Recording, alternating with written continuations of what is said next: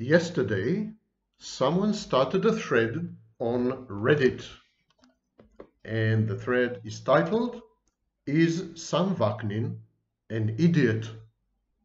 The Is God Great? Is Richard Grannon handsome? I mean, why ask these questions? You don't need to be a professor to answer them. And yes, I am a professor of psychology in several universities, some of them pretty prestigious. And I know you hate this fact because it just proves to you, just show, goes to show that bad guys finish first. And apropos bad guys, today we're going to deal with our favorites, borderlines, narcissists, psychopaths, and the wonderful things they do, like lying all the time about almost everything, except about being a professor, of course. My name is Sam Vaknin. I'm the author of Malignant Self-Love, Narcissism Revisited, and I've spent the last week participating in two documentaries.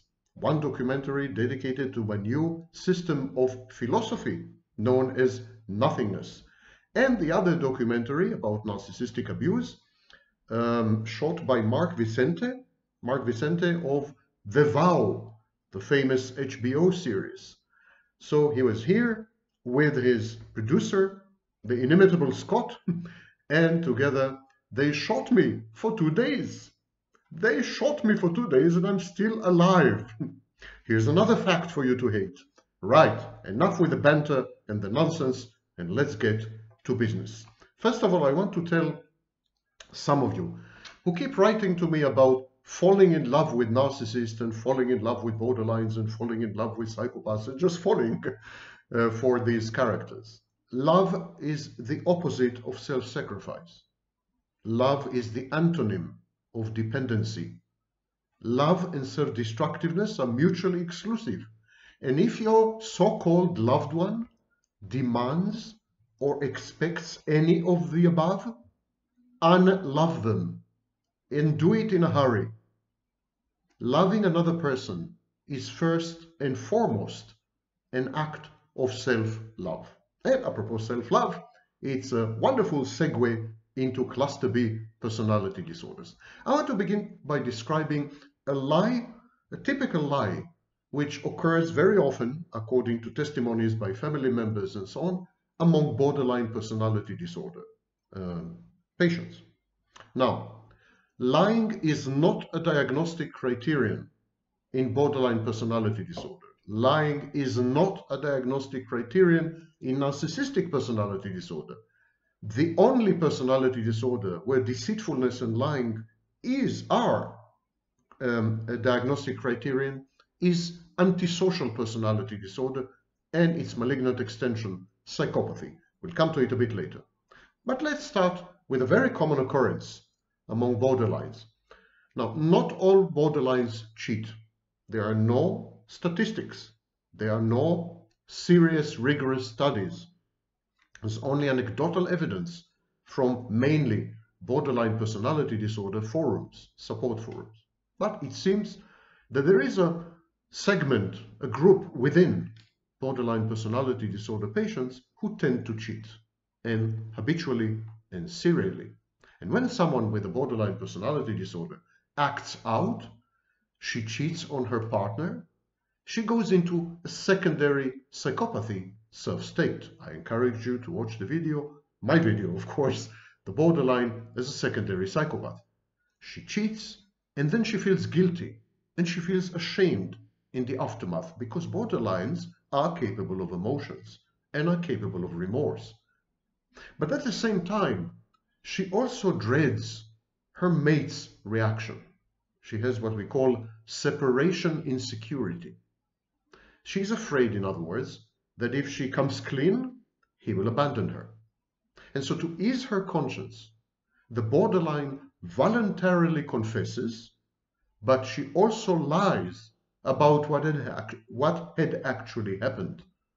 So this, this bizarre hybrid, she confesses to having done something wrong, but then she doesn't come clean. She doesn't she doesn't give accurate details as to what had happened. Typically, she minimizes the transgression. She would say, We just danced, we just hugged, or kissed, or talked, we were just drinking, or we had coffee together for all time's sake. Or she may transpose the event, the uh, unsavory event, she may transpose it to another place or another time, usually conflating the event with more innocuous but similar occurrences. That makes her feel comfortable to lie, because she's not really lying. She's just creating a collage, a kaleidoscope of different events in her life. The borderline feels justified to lie because she casts the lie in terms of self-defense against abusive reactions to her misconduct. It's a very circuitous, very tautological kind of thinking, kind of reasoning. She says, well, I'm lying because if I were to tell the truth, I would be mistreated. So that justifies my lie. This is called interpersonal hypersensitivity for those of you who love highfalutin clinical labels. Gradually, the borderline starts to believe some of her own prevarications and she protests vehemently against any attempt to refute her lies. She feels exonerated. She feels vindicated. She feels empowered, morally upright, and she feels, she feels entitled to repeat her misbehavior and again to lie about it. Cornered as she is in a dead relationship by her abusive and rejecting partner. In other words, she repaints or recasts her relationship as a dead relationship. Every fight becomes a breakup. Every disagreement is proof of the demise of the liaison. So these justify cheating, and cheating, of course, requires lying, because if she doesn't lie, she may get abandoned or worse. So this is what we call alloplastic defenses. And they are coupled with an external locus of control. And since the borderline, borderlines read rejection and abandonment into every act of the mate or the spouse. They, they interpret everything as imminent, looming, cruel, cruel and sadistic abandonment and rejection. And so this justifies recurrent misdeeds. So recurrent misdeeds, recurrent misconduct, and then lying about it. These are baked into any relationship with the borderline. In other words, it's a take it or leave it thing. Now, this is especially egregious when borderline personality disorder is comorbid with other personality disorders. There is no worse combination than comorbid antisocial, narcissistic, and borderline personality disorders. Such a wonderful trifecta is diagnosed in about 10% of cluster B patients. Scholars are beginning to reconceive of both borderline personality disorder and of overt narcissism as forms of secondary and primary psychopathy, respectively. Borderlines, especially women, female borderlines, are now increasingly considered to be secondary psychopaths. And overt narcissists, the kind that used to be identified with narcissism in the DSM-3 and DSM-4, is now beginning to be considered a form of primary factor 1 psychopathy. And this trifecta of antisocial, narcissistic, and borderline um, cornucopia, this, this gift that keeps giving, this trifecta renders the afflicted impulsive risk takers, hostile, aggressive, egocentric, possessed of compromised empathy, mistrustful, and grandiose, and it also makes them consummate, inveterate liars. Lying is an integral part of this comorbidity. And the disorders uh, are compensatory, they are mutually compensatory. The strong points in each disorder covers up for deficiencies in the other comorbid mental illnesses. The disorders in the form of self-states, sub-personalities or pseudo-identities. So the disorder, each disorder takes over the patient's total functioning in reaction to stressors and environmental challenges. So because the patient rotates, oscillates between various self-states, and because there are dissociative partitions, albeit partial, permeable dissociative partitions between them, this leads to confabulation, which is also misperceived as lying. We'll come to it a bit later. And these transitions lead to an ever greater identity disturbance. How can you stick to the truth if you don't know who you are? If there's no continuity? If every few minutes you are someone else, a psychopath, a narcissist, a borderline, a codependent? It's difficult. It's difficult to not lie when you have no idea what is the truth about yourself, about others, and about things that may have happened to you when you spend a big part of your life on autopilot and when you have memory gaps which far outweigh your memory. And so your identity is disturbed, fractured, not constellated, dysfunctional. And you might well, you might well be described as selfless without a self. Okay, this is the, the opening salvo in our, in our discussion of lies. It would behoove us to classify lies and confabulations. A statement constitutes a lie only if at least one of the interlocutors knows that this statement is untrue, and yet he insists or he assumes that it is true.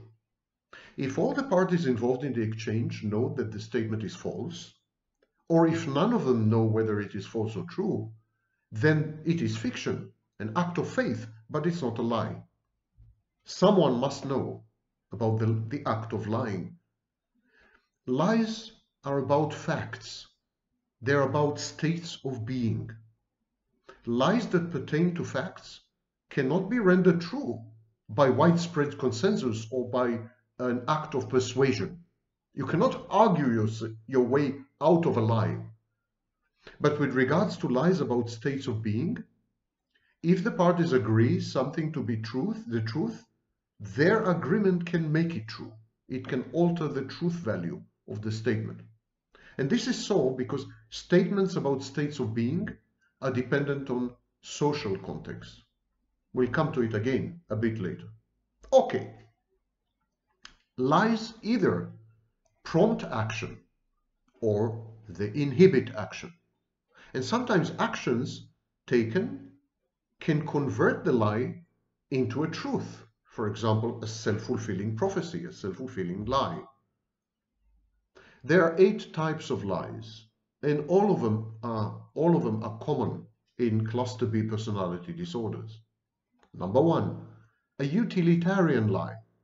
That's a lie that is intended to accomplish something a lie that is goal-oriented, a lie whose structure and content are planned to promote or inspire changes conducive to the furtherance of the liar's aims, goals, and aspirations. Now, that would be the psychopath. Utilitarian lies are very common among psychopaths.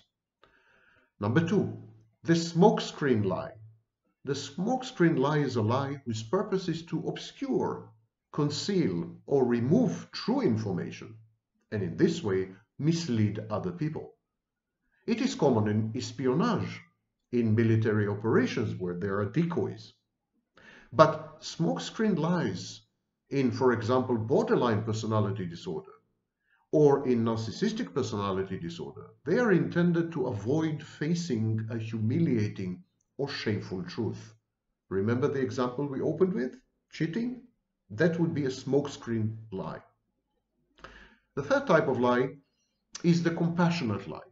It's a lie that is geared towards sparing other people's feelings, catering to their sensitivities and vulnerabilities, and allowing, allowing other people to save face and to avoid shame and embarrassment. Most white lies are compassionate and empathic. Borderlines often use compassionate lying.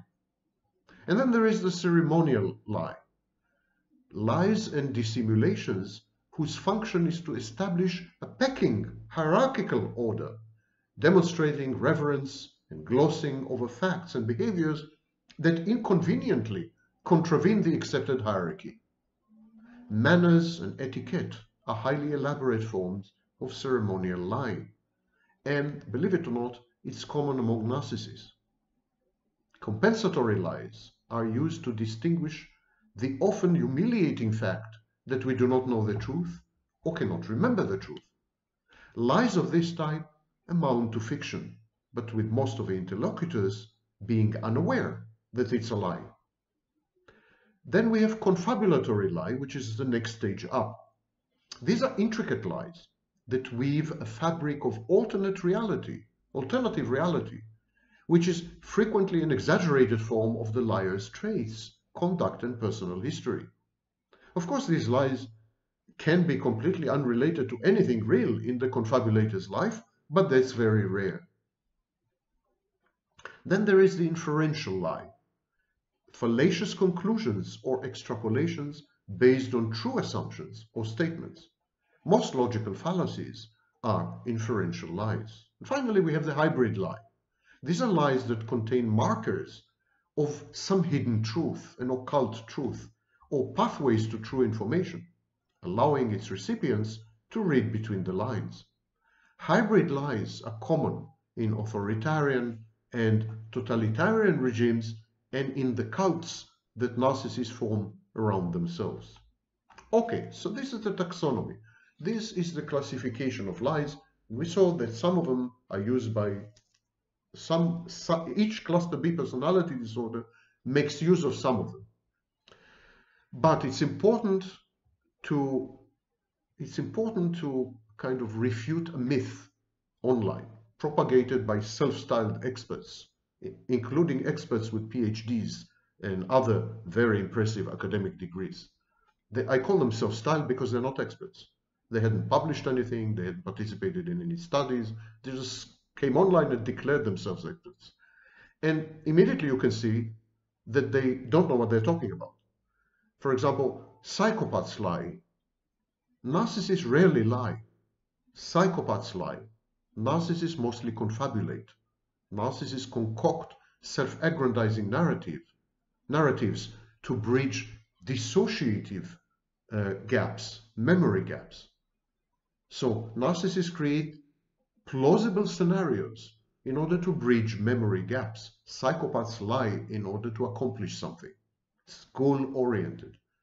Indeed, in page in, in the Diagnostic and Statistical Manual, edition 5, 2013, page 764, for those of you who mistrust me to that extent, there is the antisocial personality disorder alternative model. And one of the diagnostic criteria there is deceitfulness, dishonesty and fraudulence, misrepresentation of self, embellishment or fabrication when relating events. There is no hint, there is no hint of lying, prevarication, fraudulence, dishonesty, misrepre misrepresentation, embellishment, or fabrication. There's no hint of any of these among the diagnostic criteria of narcissistic personality disorder, and for good reason. Narcissists rarely lie. There's also no hint of this in the diagnostic criteria of borderline personality disorder. Again, for good reason, because borderlines convince themselves that these are not lies. Narcissists and psychopaths dissociate. They erase memories a lot. They're amnesiac because their contact with the world and with others is via a fictitious construct, the false self. Narcissists never experience reality directly, but through a distorting lens, a glass, darkly. They get rid of any information that challenges their grandiose self-perception. And the narrative they had constructed to explicate, excuse, and legitimize their abrasive, antisocial, self-centered, and exploitative behaviors, choices, and idiosyncrasies. In an attempt to compensate for the yawning gaps in memory, narcissists confabulate. They invent plausible plug-ins and scenarios of how things might have been, could have been, or should have plausibly occurred. To outsiders, these fictional stopgaps appear to be lies, but actually they are not. The narcissist fervently believes in the reality of these confabulations. He may not actually remember what really had happened, but surely it could not have happened any other way, he says to himself. He tells himself that his confabulations probably have happened, had happened, and so he protests fervently and adamantly and vehemently if you try to contradict them, if you try to refute them, or to expose his confabulations as lies. And these tenuous concocted fillers are subject to frequent revision as the narcissist's inner world and external circumstances evolve. And this is why narcissists often contradict themselves. Tomorrow's confabulation often negates yesterday's yarn. The narcissist and psychopath do not remember their previous tales because they are not invested with the emotions and cognitions that are integral parts of real memories. They don't have real memories. People with severe dissociation, memory lapses, and lost time, they're often misunderstood. They're often perceived as liars. The same goes for borderlines. One of the diagnostic criteria of, of borderlines, borderline personality disorder, is dissociation, dissociative states. And the borderline tries to make up for these dissociations. She's in a constant dream state. Many things that happen to the borderline, especially stressful things, are relegated to the netherland of her mind. And so they appear to be dreamlike, surrealistic, a bit like a nightmare. Frequently, these people appear to be lying, but they're actually not prevaricating. They're not lying. It is just because of their extreme dissociations. These people have learned to not forget. They hoard memories. They never discard even the tiniest detail. They memorize dates and numerous trivial data as handles, something to hang out onto in their hole-ridden minds. And so paradoxically, borderlines and narcissists would confabulate on the big picture. They would tell you stories and narratives, construct narratives about the big events in their lives or, or the general the general environment, which are manifestly untrue. But they would also be stickler for details, nitpickers, obsessive, obsessive compulsive about exactitude and precision. And these two things go together. And so the confabulation appear to be real, partly because they are populated with numerous details which are real but the details are arranged in the wrong order and yield the wrong narrative outcome. So, dissociative people often have contradictory memories about the same object, the same event or person at the same time. This is called dissonance. A dissociative person can regard the same uh, woman, for example, dissociative men can regard the same woman as both irresistible and repulsive simultaneously. The same building he would regard as prestigious and as decrepit, the same person as someone who makes him feel good and makes him feel bad. This is a constant background, dissonant background. And such gaping discrepancies render dissociative, dissociative people, make them appear inconsistent and deceitful, but it is not lying, it is not deception, it is simply their archaeological memory. They maintain access to all the conflicting layers and strata at once. But why would these people have radically differing viewpoints about the same person, about the same event, about the same object? Precisely because of the way their struggle to maintain their unruly memory and to cling to it goes they are struggling to maintain a coherent, continuous identity based on a flow of memories which is both logical, makes sense, and accurate. So they never delete a memory because they cherish their memories like so many treasures. And they cherish their memories like treasures because they have no so few of these memories. Where there is a troubling gap and their memory fails them, such patients confabulate. They invent a plausible narrative or scenario that must have happened. Not may have happened, but must have happened. So they never get rid of a memory. They never replace mem one memory with another. They never modify memories. They simply add to the memory another memory, even if the two memories are diamet diametrically opposed. Dissociation is typical in borderline personality disorder. Borderlines are labile. The changes in their internal states, cognitions, emotions, moods, these changes are so abrupt, dysregulated, and violent that they disrupt any personal continuity and sense of coherent identity. This discontinuity also makes borderlines appear to be lying, but they are not. They're just struggling with their fragmented memories and excruciating lability. Even when they do lie, and they are aware that they're lying, they try to recast the lie, to reframe it in a way that would appear to them to be 80% truthful. Lying is one of the myths associated with narcissism. And the reason there are so many nonsensical myths about narcissism is that people came online and without any qualifications and any relevant credentials declared themselves to be experts on narcissism.